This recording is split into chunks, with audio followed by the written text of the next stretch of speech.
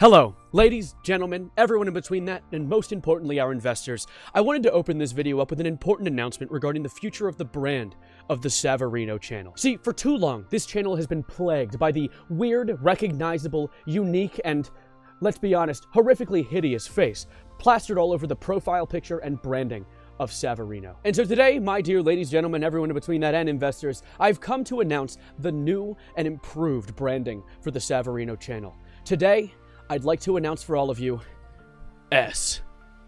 We at the Saverino brand, or as we like to call it now, S, wanted to cut out the middleman of creativity and the human touch to allow AI, artificial intelligence, or as we like to call it here at the brand, Daddy, to bend us backwards and create a logo that has absolutely zero life to it whatsoever. Also, in an effort to match the modern day of branding that many companies have been adopting, we wanted to move away from the recognizable colors of pink, blue, and orange to a more sleek, modern, and completely lifeless black and white. We at S are excited for the future of this brand, and we appreciate any input whatsoever as long as it's positive. And if you have any negative input, don't worry, we'll completely ignore you unless you pay us money. Thank you for your time, and always remember, we don't care. Hi, ladies, gentlemen, and everyone in between that, and welcome on into another Saverino video, and I'm overheating. Get this shit off me! Get it off! Hi. Branding companies, they make good decisions all the time, right? That happens. right? The answer is no. That's why I'm making this video, and also why there was a satirical bit to open this video up. We're going to talk about a few different things today.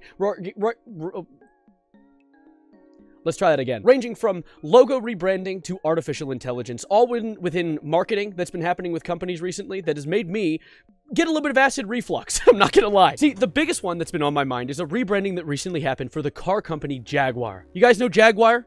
Probably not. Uh, it's a British company. My bad. British company. And they recently had a rebranding because you you can see the logo. There's the logo. Look at it. That's hideous, right? That looks horrible. Uh, like a, a, sleek Jaguar moving forward like a fast car. That looks disgusting. Clearly, they needed a rebrand. And so they did. They recently changed their logo to, um, so the CEO of Jaguar and Land Rover, Gary McGovern, came forward actually making a statement about the reasoning behind this rebrand, and I want to just read his quote really quickly because it truly captures why. and makes a lot of sense to me. I mean, it truly, I, I understand now. Um, it recaptures the essence of Jaguar, returning to its values that once made it so loved, but making it relevant for a contemporary audience.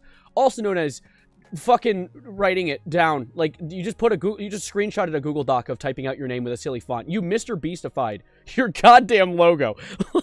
that's not even a logo. That's a name. They made a name. And so this is the future of Jaguar. And with this future, they actually released a trailer, an interesting trailer that I wanted to give a quick watch for. And keep in mind, this is for a car company. Let, us just let's just give it a quick watch. And I'll be up in the corner here, so all YouTube reactor mode.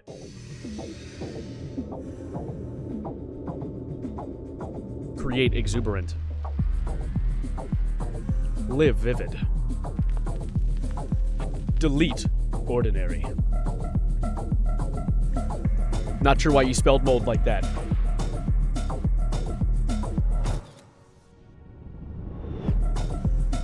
Copied nothing.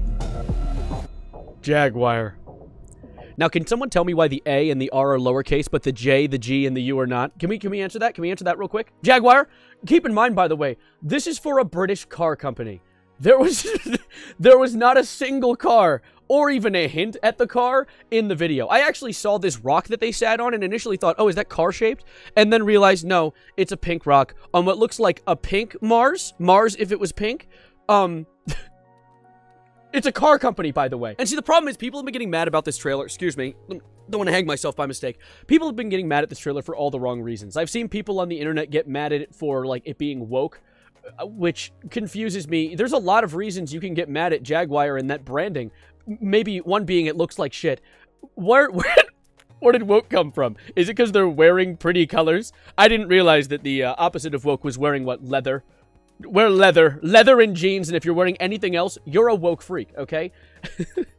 what is going on? We are, we've lost the plot. And of course, since Jaguar came out with one of the worst branding updates in the history of branding, aside from that one time that Firefox decided to turn their fox into uh, uh, a circle, but there was one of the worst updates in branding in history, and of course, Coca-Cola saw this and thought, "Oh, I have an idea. I, I can do better, worse. I can do bet worse, better." And they did by releasing a trailer that was a new and modernized version of their original classic Coca-Cola Holidays trailer. And quickly, let's look at the original trailer. Just give a quick view of it. This is a classic one. It's it's historical. Look at that, beautiful. Oh, they're so. Oh my. The holidays are coming. The holidays are coming. You hear that? It's the season. The holidays are coming. And, and it just it's coming to your town in the holidays. They're they're coming to your town in the holidays. And so recently Coca-Cola thought, "Oh, I have an idea. What if we made that but made it bad?" and they released a trailer that is a modern-day remake of that, except instead of putting out the extra maybe $100,000 of a budget to make a commercial like that and just have a few Coke trucks with Christmas lights on them, they thought they would hire AI. they made an AI trailer. Let's give this one a quick view. We'll go all the way through this one purely because I am a sadist. Beautiful. Oh my god, is the hol is it the holidays are coming? Oh wow. Oh my god, it looks absolutely awful.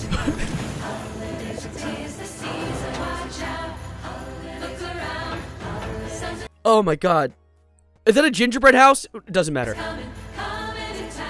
I'm so wait, I'm sorry. Was that car a train? What is that? What is this? What is that?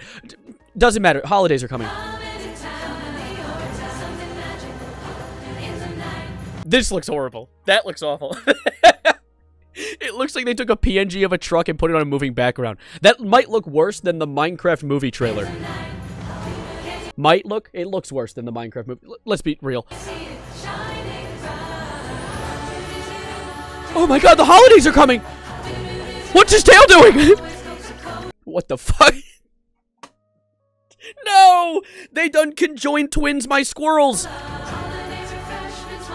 Oh. Okay, actually, I need to go back. I was in the way of that one. You need to see this. So we have this very snow-looking snowman, but then we move up to his face and have the frosty, the snowman level animation. That's great.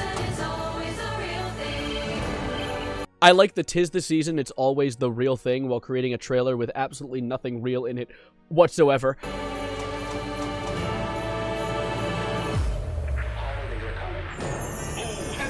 I, Loki, thought they were going to nuke the town made of AI. I'm sorry. are they in China? what?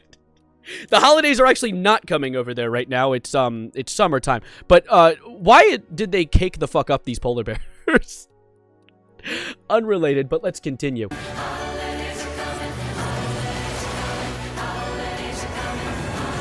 Not a single car on that road was following any road laws. Why are you on the sidewalk? what are you doing?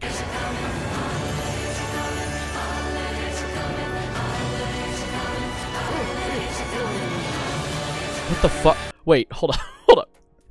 What direction is Santa's sleigh going in right here? Like, you see, you see the pixels coming off of it? Is he flying away or forward? Real magic. Real magic. Um, I might have missed the real part, I guess. But of course, unlike the Jaguar update, which has absolutely nothing to talk about whatsoever, they literally just typed into a Google Doc file and then hit the screenshot button. This has a bit of lore behind it. This was created by a brand called Silverside AI. It was actually posted, uh, I found it through Chris Barber, who is a member of Silverside AI, but it's a brand that essentially just, it, it, let's read the description. An AI innovation lab helping the world's best brands revolutionize their marketing ecosystem. And by revolutionize, of course, they mean doing the exact same thing I do whenever I I have a project uh, in school that I don't feel like doing. you slap that bitch in ChatGPT, baby. However, something that got my noggin itching when I first saw this trailer was how is Coca-Cola gonna claim this video? Like, you can't copyright claim AI. There are laws put against this. There was a website I saw that talks about the fact that in the US, the Copyright Office guidance states that working containing AI generated content is not copyrightable without evidence that a human author contributed creatively. And while this was made by a human company, the Silverside, it's not an art company, it's an AI company, so it's not really like art at all. Like, I know people will argue that AI can be used kind of like a paintbrush. It's a tool. It's a tool to create art. If you didn't know how to make art and then you had the art make itself for you. And so I'm really curious as to how Coca-Cola is going to move forward and how other brands are going to move forward with this because you could very easily just, I could take this and be like, I made this. That's my trailer. That's mine. I, I except I wouldn't because I have a, a, really rare trait in modern day called dignity. However, people on the internet have already been taking advantage of this. I saw one video posted online on Reddit where someone uh, they remade the trailer. They redid it. They a 15 second little snippet. But I would argue in those 15 seconds, they fixed it. They truly, I would say, they healed. They healed it. Let's give it a quick watch. All right, let's check this out. No. Oh, Santa. Don't do that. Holy shit, they Oppenheimered the poor thing. Yeah, um, don't worry. You're allowed to applaud. I just find it so inspiring, man. The modern day of marketing truly is a wonder. Seeing companies that make millions of dollars every single day and have the capacity to fund art, a form that we as a species have been crafting and refining for thousands of years. And honestly, just kind of no, tell it to fuck off. Just tell it to go away. Because honestly, companies as a whole have always been flawless at making good decisions. Remember a few years ago when a company, uh, the Peanuts company, decided to kill off Mr. Peanut in a horrific explosion accident, uh, and then months later went back on it because then Kobe uh, died in a horrific explosion accident? That's crazy. I love when companies do things that are good and also uh, not bad. good, but also not bad.